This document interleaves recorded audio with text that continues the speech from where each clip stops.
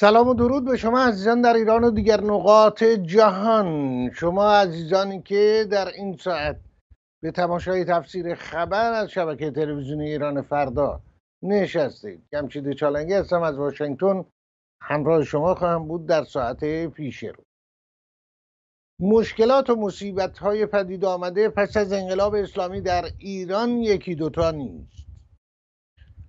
بیبرقی و مجدگانی مسئولان جمهوری اسلامی کسانی که دست روزگار و روند اوضاع اونها رو در مسند قدرت و مسئولیت های نشانده مجده دادند که بیابی هم به زودی از راه خواهد رسید. گزارشگرانند مسئولان و کارگزاران حکومت فقی کشور ثروتمند ایران با فقر دست به گریبان است. و مردمانش. نسل جوان کودکان آینده با ادامه این نظام در برابر خود ندارند. و آیا نظامی در ایران بر سر کار است یا یک شرکت سهامی شبیه آنچه که بارها بسیاری تشبیه کردند باندها و گروه های مافیایی. شورای نگهبان قانون اساسی جمهوری اسلامی اسامی نامزدهای انتخاباتی رو منتشر کرده. به تایید خود حکومت به تایید خود ولی فقیه و کارگزاران او بسیاری از دستندرکاران این مجموعه صلاحیت برای مسندهایی مانند ریاست جمهوری ندارند. ایران انگار آزمایشگاهی بوده است برای روحانیت آخوند و ملایان شیعه. بیایند و تجربه کنند. هشت سال احمدی نژاد هشت سال مغروق عالم اسلام و نیز ریاست مجلس هشت سال محمد خاتمی هشت سال بلا نسبت شما شیخ پرزیدنت رئیس جمهوری حسن روحانی و دیگران. در مسندهای مختلف مانند علی لاریجانی از رادیو تلویزیون ملی ایران گرفته تا آنچه که شورای امنیت ملی خوانده شده و ریاست مجلس و تایید اینکه صلاحیت ندارد واقعیت اینکه مناسب ترین برای ریاست جمهوری چنین نظامی همانی است که ارزش های اعلام شده حکومت و مجموعه نظام رو پیش برده و می‌برد. یعنی کشتار و کشتار و کشتار. زندان و شکنجه و بقیه موضوع در این زمینه و مسائل و موضوعات مربوط به ایران و مردم ایران گفتگو خواهیم کرد در ادامه برنامه با آقای محمد رضا یزدان پناه. روزنامه نگار مدیر و سردبیر رسانه خبری دماوند در پاریس. همراه شما عزیزان خواهیم بود تا لحظاتی دیگر.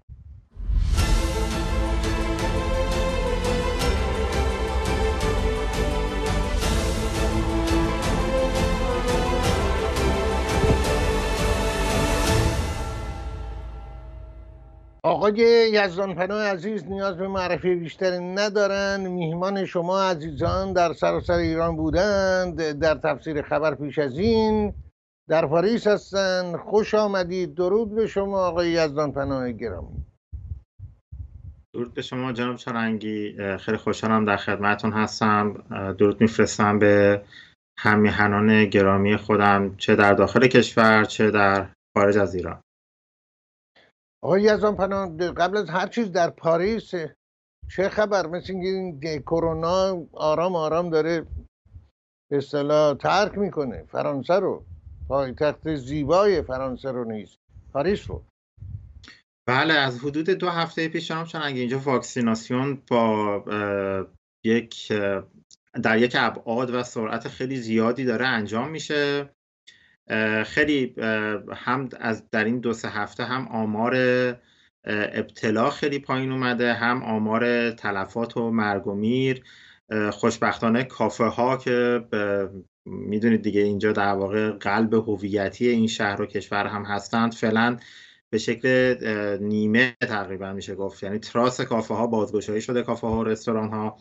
و خب زندگی دیگه داره یواش یواش به حالت عادی برمیگرده. امیدواریم دیگه به زودی از دست از شر این ویروس چینی واقعا خلاص بشیم. بله چون ما در فارسی از آن پناه عزیز تراس رو بعد وقتا تصور دیگه ای دارن شبیه بالکن یا جای دیگه یا ایوون خونه اینه که منظور بیرون کافه هست. آ بله بله درسته. بیرون بله. همین بیرون کافه ها که میز صندلی میشن داخل کافه ها از یه چند روز دیگه بازگشایی میشه ولی بیرون کافه ها حالا به اصطلاح تراسشون دیگه بازگشایی شده و مردم مشغول لذت بردن از زندگی هستن فعلا. شما در برنامه پیشتر که با هم بودیم که در تفسیر خبر اشاره کردید که یک در پنهانی کافه کوچه شما داره نداره سر کوچه شما؟ در. پنهانی میخانه رو ایران از مردم که می‌پرسن توی این برنامه تلویزیونی که ماهواره دارید میگن این همسایه ما ماهواره داره. ما از اون باخبر میشیم. حالا ما هم همسایه‌مون یه کافه ای داره. از در پشتی اون باخبر میشیم. یعنی در پنهانی میخانه رو در پای شما می‌دونید و به حال شهردار پاریس احتمالا. و اما آقای یزدان پناهی شما به عنوان یک روزنامه نگار جوان روزنامه نگار نسل پس از انقلاب شما از پاریس رصد می‌کنی؟ این رو میشه در رسانه ای که شما اداره می‌کنید مدیریت و سردبیرش و من همینجا توصیه می‌کنم به بینندگان که میبخشید حتما مراجعه کنم. در رسانه های اینترنتی هم هست اینستاگرام هست. بله فیسبوک و بقیه. اونجا که دیده میشه رسد می‌کنه اوضاع ایران رو. اون بیبرقی و بی آبی که از راه رسیده سابقم داشته. اینها رو چطور؟ چطور به اصطلاح بهش نگاه می‌کنید؟ علتش عدم مدیریت علتش چه هست واقعا؟ یعنی چون مسئولان جمهوری اسلامی کار من شما رو می‌کنن. میان گزارشگری می‌کنن. مجده مجده بیابی هم خواهد رسید. از شما میشنوید ببین جناب چانگی مجموعه بحران ها مشکلاتی که ایران و مردم ایران در این سالها بهش مبتلا شدن در این چهل و اندی سالی که از عمر این نظام نکبت ولایی میگذره سه تا عامل اصلی داره یعنی سه تا عامل عمده داره.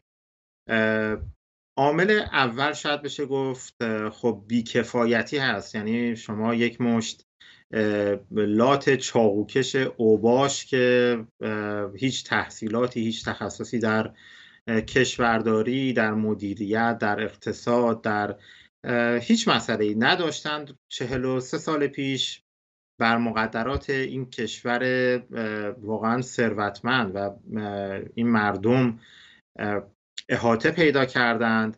و خب شما از همچین جماعتی واقعا انتظار مدیریت علمی و درست نمی‌تونید داشته باشید. مسئله دوم فساد هست.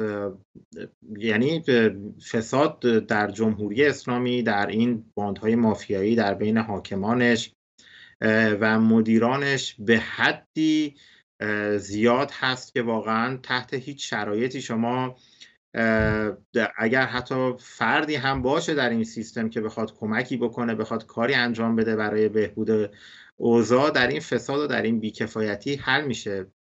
و مسئله سوم و شاید از همه مهمتر جناب چالنگی این هست که در این حکومت در این حالا حکومت هم اگه بشه اسمش رو گذاشت در این فرقه تبهکار واقعا شما چیزی به نام میهن دوستی و ایران دوستی نمی‌بینید. اساسا موضوعیتی نداره. ایران برای این اجامر این فرقه تبهکار واقعا یک وسیله برای مصرف کردن برای منویات شخصی و باندی و فامیلی خودشون هست.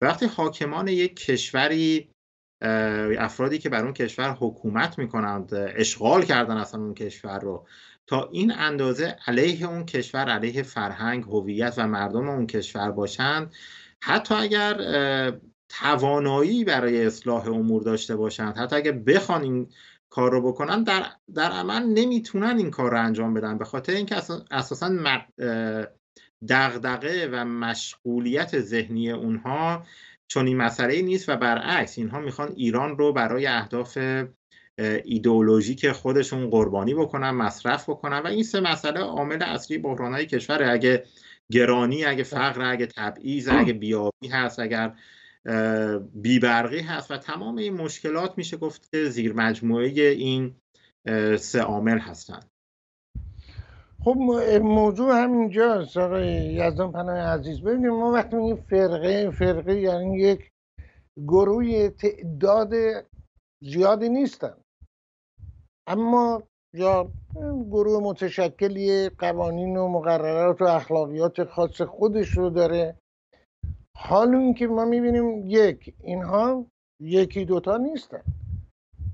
بسیار بیشتر از افرادی هستن که بشه با فرقه توصیفشون کرد و دو در خود همین مجموعه اختلافات بسیاری وجود داره. بزن بزنهای بسیاری وجود داره. من نمی‌خوام وارد بحث به اصطلاح ادبیات قضیه بشیم که آیا واقعا فرقه است یا عنوان دیگه هر عنوانی بهش بدیم بنابراین این این ور قضیه چی؟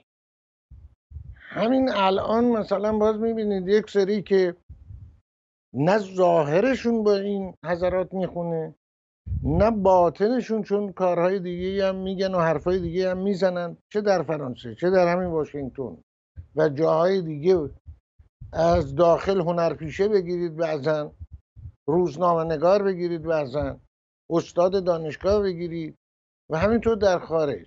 این ور قضیه اشکال کجاست؟ بله خب فرقه به این معنی که واقعا یه خب یک مجموعه ای هستند اینها. ببینید واقعا از این جهت میگم که یک ایدئولوژی مشخص دارند این حاکمان و اشغالگران و خب البته در درون خودشون باندهای خیلی مختلفی هم وجود داره دیگه.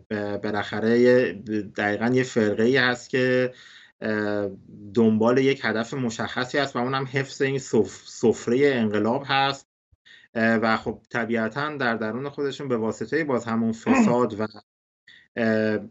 در واقع ایدولوژی که حاکم هست باندهای مافیایی متعددی وجود داره که همونجور که شما اشاره کردید به شدت هم اتفاقا با هم درگیر هستن بر سر منافع بیشتر از سر همین سفره انقلاب سهم بیشتر از این سفره انقلاب. و خب البته جام بله در داخل و خارج از کشور هم اینها یه چند سالیه که یاد گرفتند که باید مدیریت افکار عمومی رو یا لاغر تا یه حدی بر عهده بگیرن یا به طور لاغر به طور کامل از دست ندن. شما در داخل کشور می‌بینید که خب حالا به انهای گوناگون مشتی هنرمند و به اصطلاح هنرمند و سلبریتی و روزنامه نگار و نمی‌دونم اینها رو مجیزگوی خودشون کردند.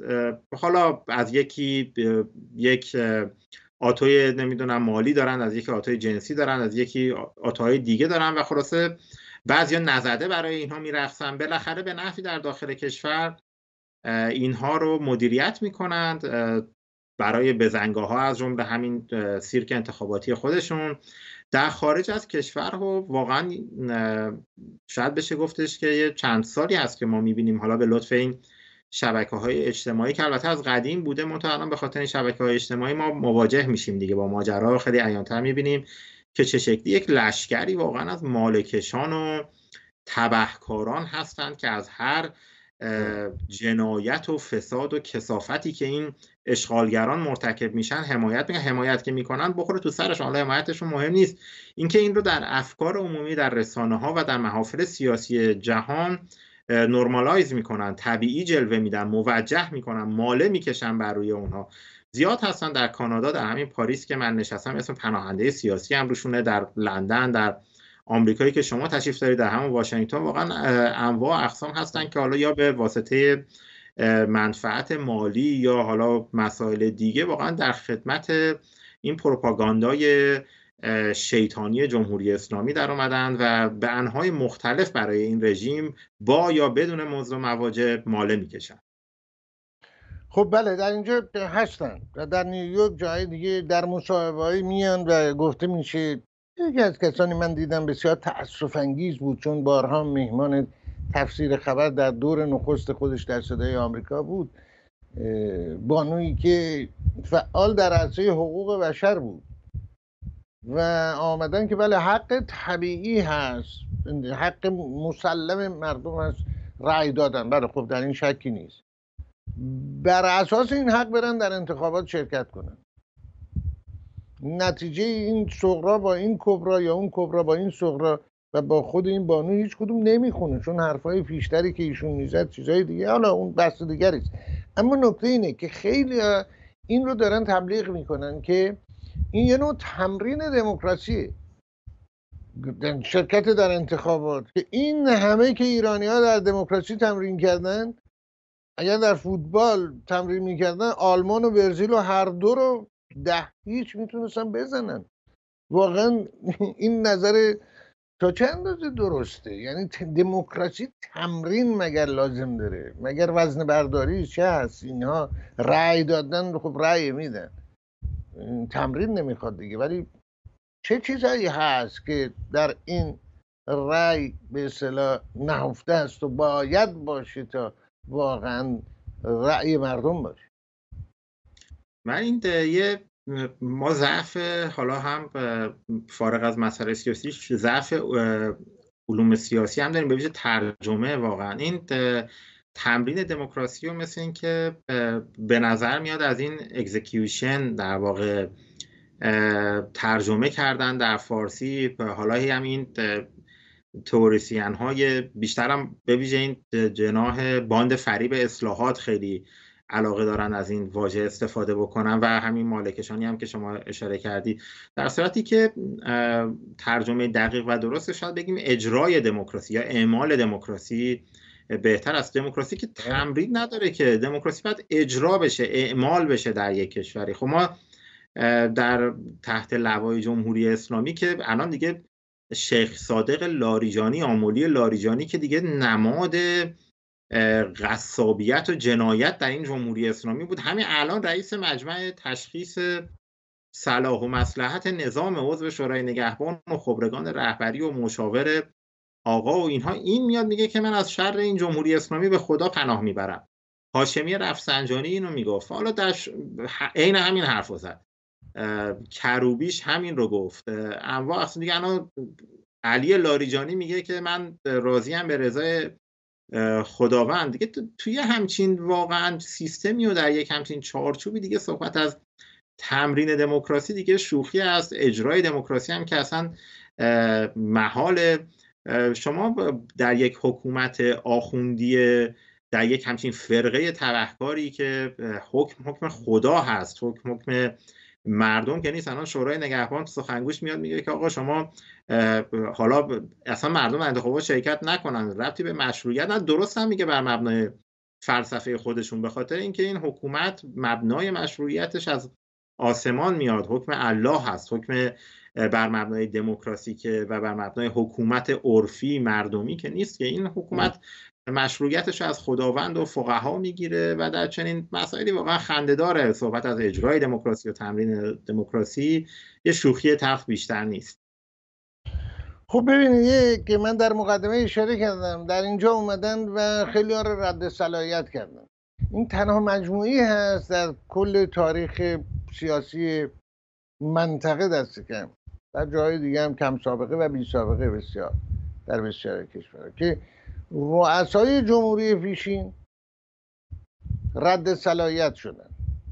مثل تازه ترینش احمدی نژاد مثل رفسنجانی مغروق عالم اسلام. محمد خاتمی به جایی می‌رسه انگار عکس برهنه مثلا مرلی مونروز ممنوعه تصویر محمد خاتمی انتشارش. و جای دیگه. رئیس مجلسش که این علی, علی لاریجانی باشه از این آدم های چند منظوره زمان رئیس تلویزیون مصادره شده ایران بود. بعد شورای امنیت و مذاکره کننده و همه اینها. مثل از اول هم همین بود. این چند منظوره ها اومدن. از تلویزیون و رادیو گرفته تا سازمان گسترش صنایع و جای دیگه. برای اینا همه رد صلاحیت میشن. یعنی عملا خود این مجموعه هست که میاد و مهر می‌زنه که اینا صلاحیت این کار ندارن. به معنای دیگه حداقلش اینه مثل که ایران شده آزمایشگاه سیاسی که این ورم داریم البته. تیر خلاص زنه هایی که آمدن این ور و مفاتی همچنان مفاتی الجنا در یک دست هابرماس در دست دیگه و به اصطلاح تراوشات دموکراسی می‌کنن و آموزش دموکراسی به بقیه. خب اینو چطور شما می‌بینید این عدم مشروعیت این حضرات رو. واقعا حالا اصلا صحبت کردن شاید چالنگی درباره این سیر که این نمایش که اسمش رو گذاشتن انتخابات نمایش رأیگیری در جمهوری اسلامی دیگه خندهدار شده واقعا.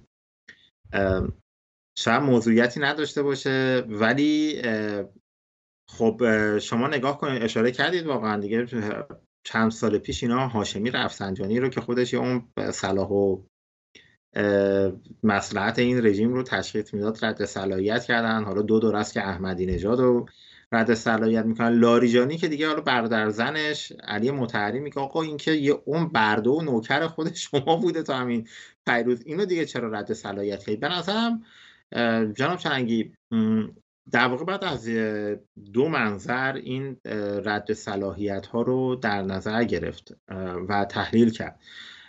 خب اصل ماجرا رو چند سال پیش این خامنه ای تو اون پیامی که فرستاد به مناسبت اسمش هم گذاشته با گام دوم انقلاب.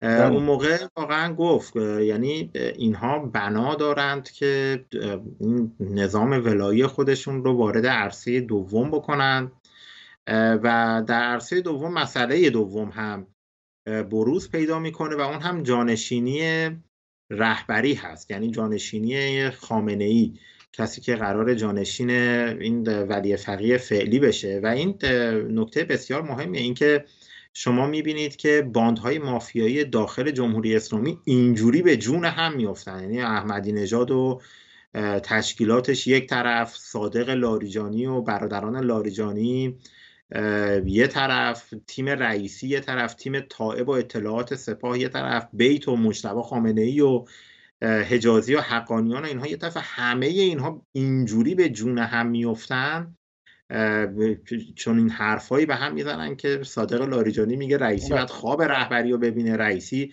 تمام دار دسته لاریجانی ها رو محاکمه و دادگاهی می‌کنه زندانی می‌کنه احمدی نژادی ها همینطور این رو واقعا باید در چارچوب جنگ قدرت برای بعد از خامنه ای دید و این رد صلاحیت های انتخابات اخیر هم در همین راستا واقعا قابل تحلیله یعنی فضا رو دارن جوری میچینن که کمترین مزاحمت و حتی نویزی برای در فرایند و در مسیر تعیین جانشین رهبر جانشین بعدی رهبر وجود نداشته باشه.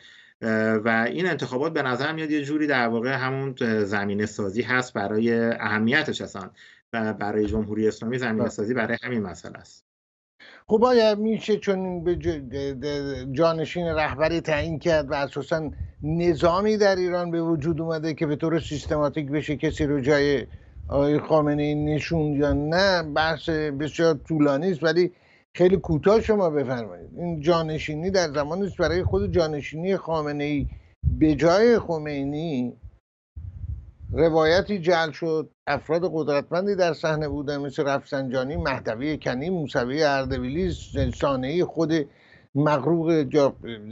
مغروق عالم اسلام آقای رفسنجانی آمد و یک روایت جل کرد خمینی گفته که من بهترین جانشین من ایشون هست و یادش هم حتی رفته بود یا به روی مبارک نیورده بود و ناب مبارک بقیه که خود خمینی گفته بود این بابا بی سواد هست در مورد سلمان رشدی. برار همه اینها بود. الان واقعا ساختاری درست شده که به طور سیستماتیک بابای دیگه رو بزنن جای ایشون در اون خلای قدرتی که پیش میاد.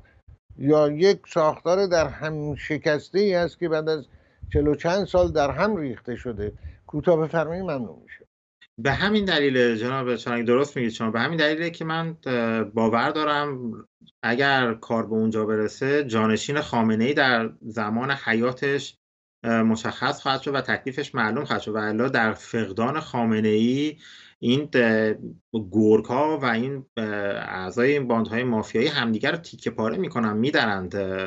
معلوم نیست چه سرنوشتی برای تک تک اینها قابل تصور باشه. در همین دوران زندگی خامنه ای جانشینش مشخص خواهد شد و احتمال قریب به یقین در همین چهار سال آینده اگر رئیسی حالا اینجوری که بوش میاد رئیس جمهور بعدی باشه به احتمال زیاد تکلیف جانشین خامنه ای همین چهار سال آینده روشن میشه. بوی رئیسی یا بوی خ... جانشینی هست. بوی این خبر میاد به منظور هست بله. بله بله احتمالا دیگه احتمالا حالا اینجور که دیگه بوش میاد دیگه ظاهرا همه چیز اگر لاریجانی رو حالا با حکم حکومتی و با دوپینگ بر نگردونند به عرصه به نظر میاد همین تکلیف رئیس جمهور بعدی هم رئیس جمهور بعدی نظام ولایی روشن شده باشه از همین الان. خب ببینید نکته همینجاست. شما راجع به فرقه گفتین من راجع به جمعیت خیلی بیشتر از اون چی که در زیر عنوان فرقه بگنجه این شورای نگهبان دیدم آقای فهمیم سخن هم مطلبی تنظامی در این زمینی نوشتن. بارها به این اشاره کردیم که هر نظامی در فرانسه به یک شکلی هست که به با ارزش هایی که فرانسه و جامعه فرانسه بهش اعتقاد داره قانون اساسیش هست میان و نامزدی رو مطرح می‌کنن نامزدهایی رو. حالا بگذاریم از اینکه مثلا کسانی به به, نجات پرستی متهم بودن و ضد خارجی الان دیگه با برای جلب رأی حتی عید فطر رو هم به مسلمانان در پاریس تبریک میگن در فرانسه مثل مری لوپن. اینها بکنن ولی در آمریکا هم همین. قانون اساسی آمریکا چقدر وفادار بودن چقدر اجرا کردن در جوانی نوجوانی مسئولیت هایی که داشتن چه کردن چه نکردن. خب در جمهوری اسلامی هم همینه. ما اکثرا توجه نمی کنم انتظار تخم چی میگن طلایی دارن. دموکراسی از آخوند ملای شیعه. ارزش هایی که هست. آقای تاجزاده آدم کشته. حالا مجاهد کشته فدایی کشته ولی آدم کشته. که دیدیم در اسرائیل هم با آیشمن چه رفتاری داشته؟ محترمانه آوردن محاکمه کردن. و نورنبه ولی اون یکی والاتر و بالاتر هست که بیشتر کشته. رئیسی. اینا ارزش هایی اون وفا اون بالاتره که حتی فرزند خودشو به کشتن داده. برای حفظ نظام به گفته آقای خمینی. ولی ما باز می‌بینیم در خارج یه برای آقای تاجاده سینه می‌زنن یه عده پای صحبت های فائزه رفسنجانی میشینن که خانواده رفسنجانی نقش اساسی در چنین وضعیتی داشته و بقیه موضوع این رو چه میفرمایید؟ چه نظری دارید؟ چه دیدگاهی؟ اشکالش کجاست که بهترین نامزد با ارزش های خود این مجموعه ابراهیم رئیسی است. در کشتار یاد طولایی داشته و رکوردی مشترک البته. با مصطفی پور محمدی و بقیه. بفرمایید.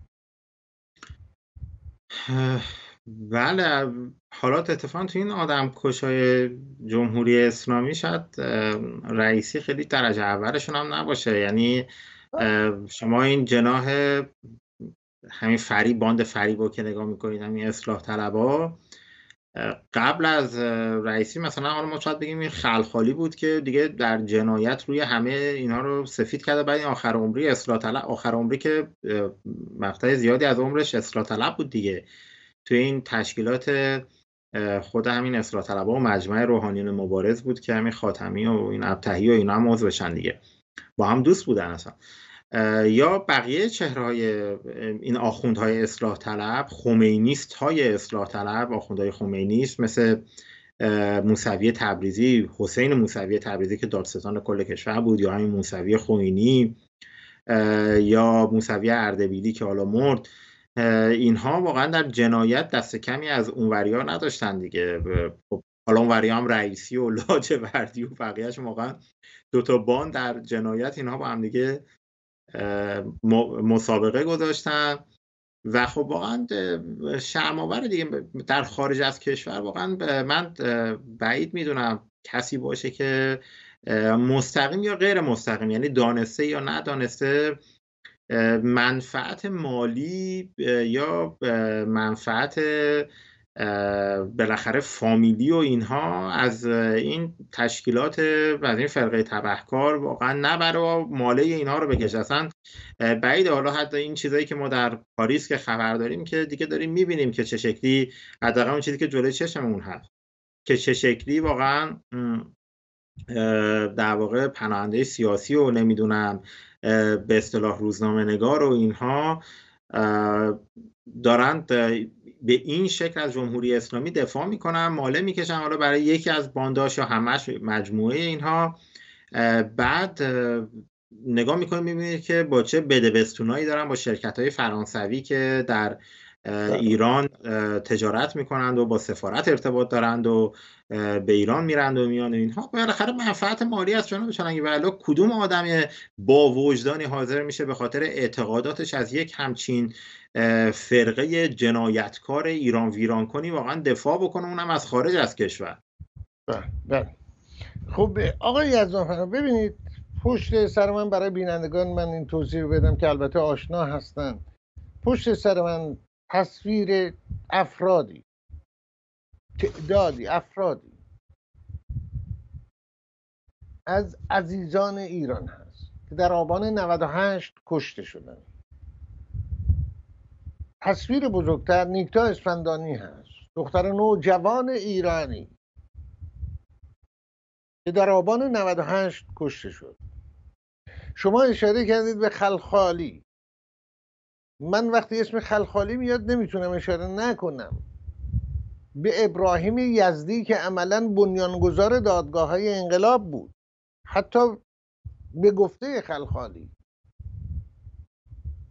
با بازجویی که انجام داد. سنگ بنا رو اون گذاشت و بعد بقیه موضوعات. کشتند و کشتند و کشتند از افکار و گروه های مختلف سیاسی از امیران و دولت مردان پیش از انقلاب تا جوانان. نوجوانان درست نادرست به فکر آینده بهتر برای ایران بودند و به راهی رفتن. آیا کسانی که ظاهرا خارج از دایره حکومت هستن مثل هنرمندان مثل ورزشکاران مثل بقیه یا بقیه افراد دیگه رأی دادن مشارکت و سهیم شدن در اقدامات این حکومت نیست؟ آیا مهر تایید زدن بر قتل نیکتا اسفندانی و هزاران هزار انسان ایرانی دیگر نیست؟ نگاه شما رو جویا است جناب چالنگی بعد از سال 88 بعد از اینکه خون ندا و امیر جوادی فر و کیانوش آسا و سانه جاله و محمد مختاری و خیلی از بهترین فرزندان دیگر ایران خیابانهای کشور رو سرخ کرد. بعد از شهدای پاک باخته قیام دی 96 بعد از آبان 98 بعد از ساقط کردن عمدی و جنایتکارانه و تروریستی هواپیمای مسافربری اوکراین. هر رأی هر برگه رأیی که به هر کسی در به عنوان نماینده این فرقه تبهکار جنایتکار در هر انتخاباتی داده بشه شراکت در تک تک این جنایات هست. و هیچ توجیهی نداره. دیدم حتی بعضی از این خبرنگاران به اصطلاح ظاهر و صلاح در این رسانه های خارج از کشور اتفاقا که چند سالی هی دم از مخالفت با رژیم می‌زنن. بعد دم انتخابات هم میان میگن که نه رأی دادن مسئولیت شخصی کسی که رأی بده داره مسئولیت شخصی خودش انجام میده. کسی که رأی ندن باز به مسئولیت شخصی خودش داره عمل می‌کنه. از این حرفای این شکلی انگار دارن درباره سوئیس و نمی‌دونم فرانسه صحبت می‌کنن. آقا جنایت داره می‌کنه این حکومت. همشون توی این سالها دیدیم دیگه. سر بنزین دیدیم سر هواپیمای اوکراینی دیدیم آبان دیما جنبش سبز رو دیدیم قبلش رو دیدیم. آقا دارن جنایت می‌کنن دستشون تا مرفق.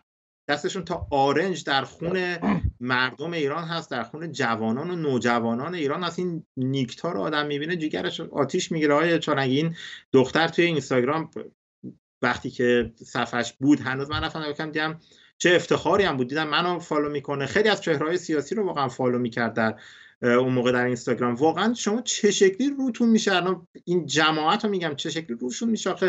توی این وضعیت بعد از این همه جنایت بیان از انتخابات حرف بزنن. بعد با چه مزخرفات دیدم یه پناهنده سیاسی واقعا بی وجدان در لندن نشسته.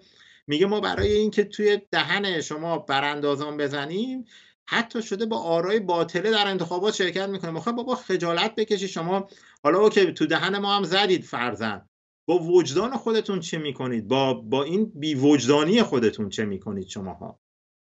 آقای یزدان پناه عزیز شما ببینید در یه همچین شرایطی خب اینی که برای ویترین برای خارجی ها ببینن در ایران دموکراسی هست نیست از نظر من چنین نیست برای اینکه می‌دونن چه خبر هست.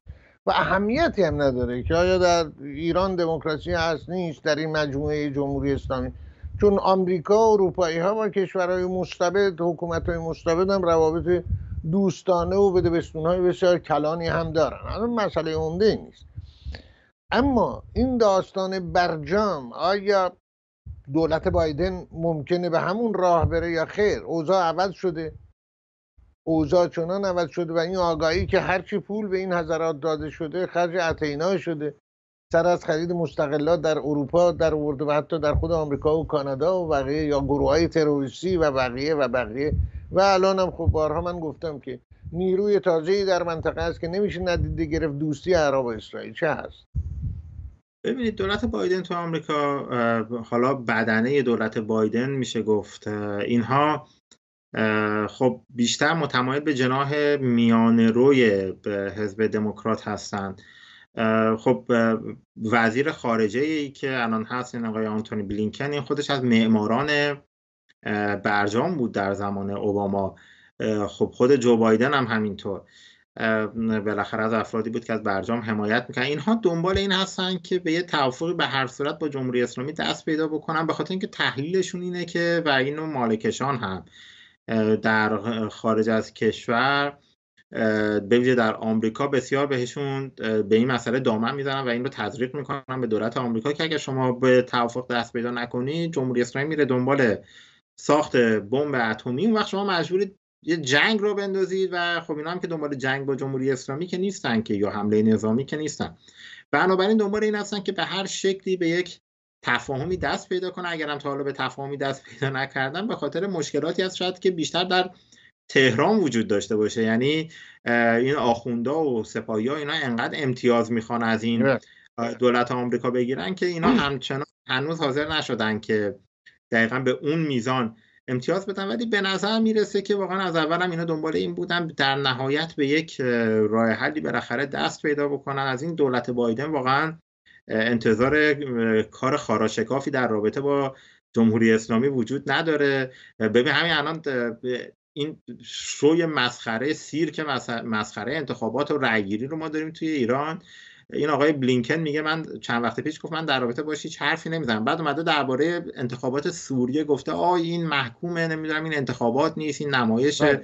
اینا. اینا درباره جم... درباره حقوق بشر دموکراسی اینها در ایران این دولت حزب دموکرات مطلقا سکوت می‌کنه. مردم ایران هرگز در طول تاریخ از این حزب دموکرات واقعا به طور مشخص حالا حزب دموکرات نه اینکه حالا جمهوری خواهم حالا خیلی کار شاقی کرده باشن ولی بالاخره این دموکرات ها واقعا نه کاری کردن. هر جایی که شده از پشت خنجر زدن به مردم ایران. آخرین موردش هم اوباما بود دیگه. دیدیم دیگه زمان جنبش سبز نامه محرمانه پنهانی می نوشت به خامنه ای که آقا اصلا من به مسائل داخلی شما کاری ندارم بیایید با هم دیگه سر برنامه اتمی شما تفاهم بکنیم. بالاخره هم همین کار رو کرد. الان هم دولت بایدن احتمال زیاد به همون راه میره. بله. سپاس بسیار داریم. آقای محمد رضا یزدان پناه با سپاس از شما.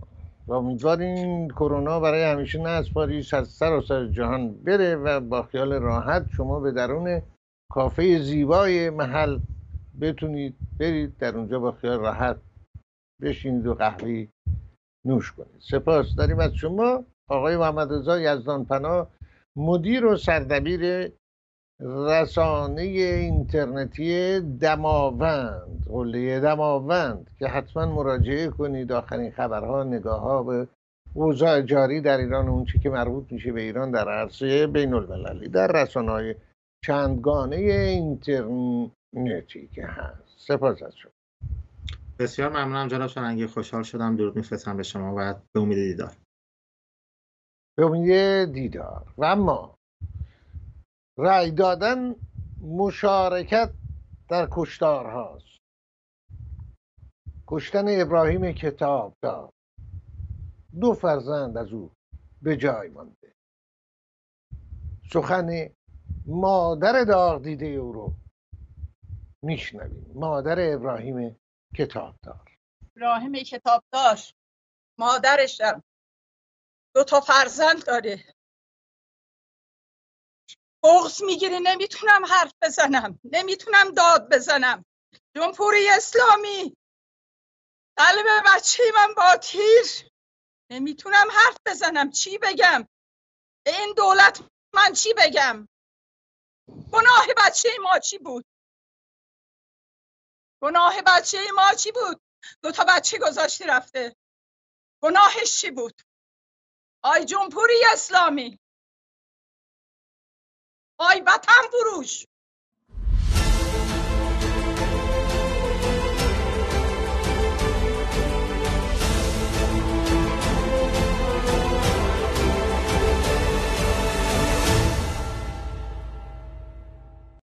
خب این موضوع رو من باید اول می‌گفتم. میونه برنامه و هر حال. هنوزم دیر نشده. ما میهمان دیگری داشتیم از تهران که متاسفانه ارتباط برقرار نشد. به احتمال بسیار زیاد به خاطر قطع برق بوده و اتفاقاتی و رویدادهایی که می‌بینیم از برکات و کرامات جمهوری اسلامی. میهمانی از تهران که امیدواریم در شماره های آینده ایشون رو ببینیم. چند خبر هست با هم در میون می‌ذاریم. این خبر البته مربوط به عراق هست. در دوران نوری المالکی نخست وزیر وابسته به حکومت فقیه و دورانهای بعدی تا به امروز باز هم آقای برهم ساله رئیس جمهوری عراق آمده و گزارش داده که از سال 2003 که نیروهای آمریکا رفتن و صدام حسین سقوط کرد. تا کنون 150 میلیارد دلار از درآمد عراق دزدیده شده است. نگاه به دست لله کن مثل لله غربیله کن.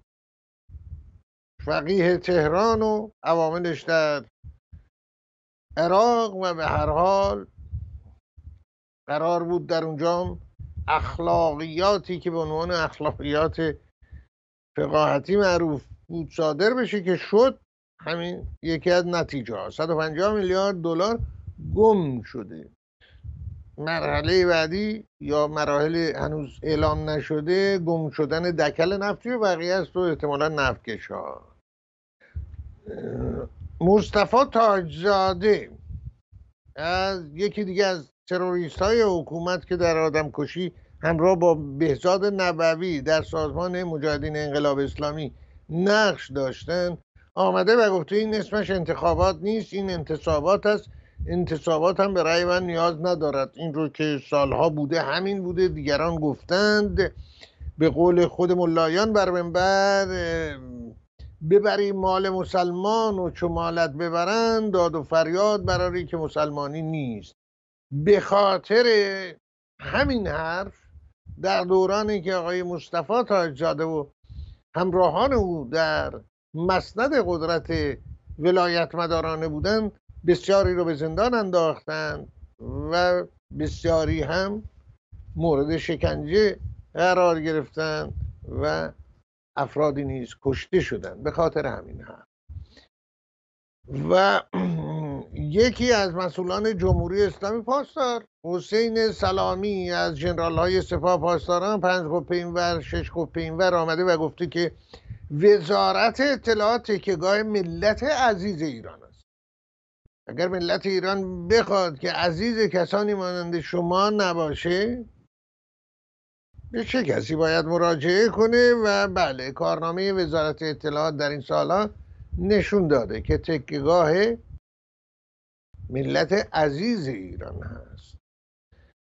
و خبر دیگه اینکه مسعود مردانی عضو کمیته علمی ستاد مقابله با کرونا آمده و خبر تازه‌ای داده. مواردی از ابتلا به قارچ سیاه در تهران مشاهده شده که این هم به حال از دستاوردهای دیگه هست مربوط به محیط زیست. میبخشید. محمد حسینی زندانی سیاسی کرد ایرانی به چهل سال حبس و تبعید محکوم شده. این رو شبکه حقوق بشر کردستان که قطعا کردستان ایرانه چون کردستان قابل توجه دوستانی که چون این شبکه تشکیل میدن هست که کردستان ما در عراق و ترکیه داریم و بخشهایی از سوریه اکثریت کردنشینن و در ایران. جایی به اسم کردستان تنها ما توجه بفرمایید نداریم. کسانی هم که خودشون رو نمایندگان اقوام کرد و اقوام دیگه در خارج از کشور مینامند این نمایندگی مشروعیتی به هیچ وجه نداشته ندارد و نخواهد داشت تا زمانی که رأیگیری آزاد و احزابی شرکت کنند نمایندگی هایی داده بشه. اونم نه بر اساس قومیت. نه بر اساس قومیت. بنابراین چون سخنانی بی اساس است و نتایج حتی به زیان هموطنان کرد ما که شبکه حقوق بشر کردستان نداره برحال و امروز 26 ماه می سالگرد کشف نفت در ایران است. در مسجد سلیمان. در 1908 منابع نفتی مسجد سلیمان پس از کشف شناسایی شد. عظیمترین منابع نفتی. بیش از 300 حلقه چاه نفت. چاه شماره یک که سهرگاه فوران کرد بر اساس قراردادی که دارسی و دیگران داشتند حفاری ها انجام شده بود. در منطقه هست که به نام چاه شماره یک نمره یک نامیده شد. دره که هنوز شاهای بسیار چشمه های نفتی در اون. خونه ما در اون وره این دره بود خونه ای که بعدها ساخته شد. خونه هایی که شرکت نفت ساخت پدر من کارگر شرکت نفت. اون سوی دره بود و این سوی دره نخستین چاه نفت. نفت دستاوردهای زیادی و پیامدهای زیادی برای ایران و مردم ایران داشت. چه در عرصه اقتصادی و چه در عرصه سیاسی. قراردادی که توافق شده بود در زمان قاجاریه قراردادی از سر ناآگاهی بود که تازه به طور تمام و کمال هم رعایت نمی‌شد و حقوق ایران محترم شمرده نمی‌شد. نخستین معترض صاحب نام علیه این قرارداد و توافق رضا شاه پهلوی بود که این توافق رو پاره کرد و به درون آتش انداخت. در پی اون توافق تازه ای شد و قدری سهم ایران بالا رفت. جریان ملی شدن نفت اوضاع دیگه ای پیدا کرد. در عرصه اقتصادی و در عرصه سیاسی که باید جایی متوقف می‌شد مصالحه انجام می‌شد در حد توانایی های فنی ایران.